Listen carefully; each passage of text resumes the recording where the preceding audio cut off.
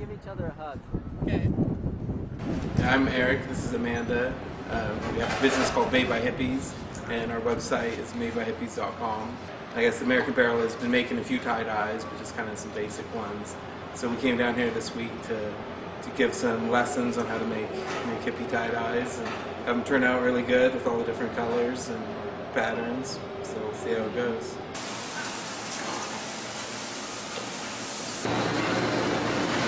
We did your list. Yeah. Yeah. This is where we're going to be doing the class? Yeah. And this is the, the peace sign here. Like on this guy, folded in half.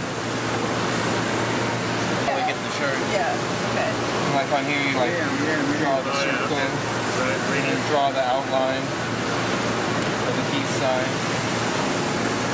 And when you're tying it, this will all be white, and there'll be a little line there. Well, like, okay, on these pictures, you see, like, that's a double one, right? And that's a single, that's a double.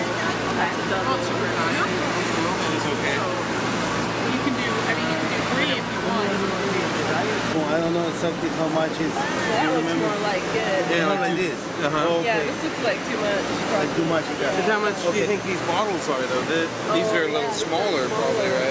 Yeah, Yeah, no, actually, you ounces. use 16 ounces in one pound, so it's around 500. This is 250, I think. Okay. So we want so, like so it's gonna be half of that. like This one is one like, tablespoon to dye. Yeah. One of So these. it's Yeah, gonna be so like grams. half of that in here. Yeah. Okay. Okay. You want to prepare? Give you. you take this back.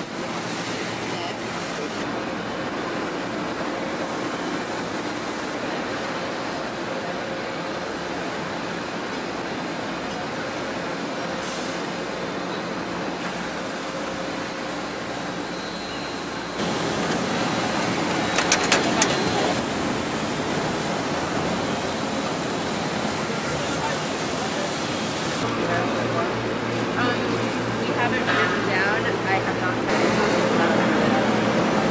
She said it brings my eyes out.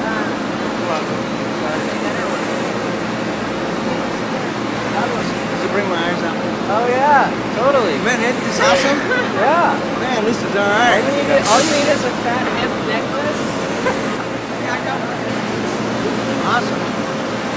Yeah, we're really doing good on me.